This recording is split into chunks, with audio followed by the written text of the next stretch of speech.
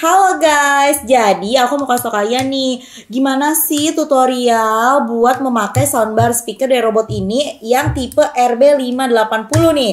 Warnanya hitam, panjang, ganteng banget nih ya bentuknya. Oke, dari yang pertama nih.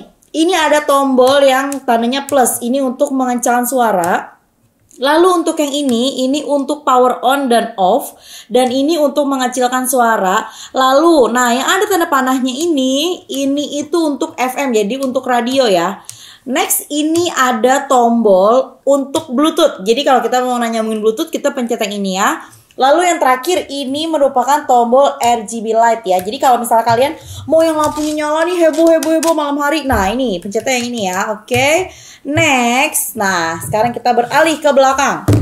Oke, okay. di belakang ini ada tiga tiga tom dua dua dua Sam, salah saya lihat ya dua ya ini untuk type C jadi ini untuk ngecas ya seperti nah yang kalian lihat kita pakai pakai chargerannya untuk yang tipe Type C. Jadi nanti ini dicolokin sini ya.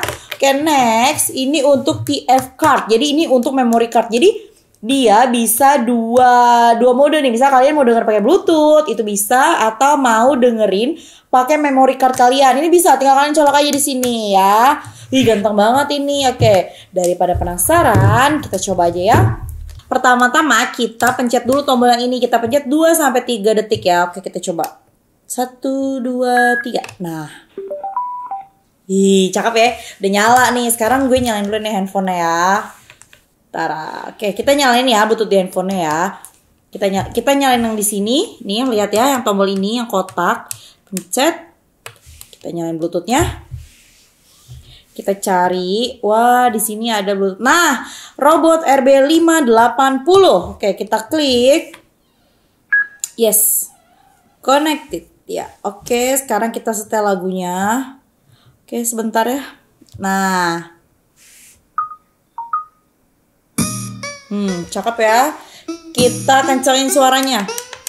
Lights, camera, action. Nah, ini untuk tombol oke, oke. Karena Oh, kecilin dulu. Jadi sini kalau mau tombol mau lampunya nyala nih ya. Nih kita pencet. Ini yang tadi aku bilang RGB lightnya tuh. Dia ganti-ganti ya. Tuh. Uh, keren banget. Oke, sekarang kita dengerin aja lagunya ya daripada dengerin suara saya ya ada satu hal yang harus kalian tahu. Untuk mengganti lagu ke next, next lagu itu kalian cukup tahan tombol yang ini, yang untuk membesarkan suara kalian tahan nih ya. Aku coba ya. Nah, music, music, ya. Tahan lagi. Yes.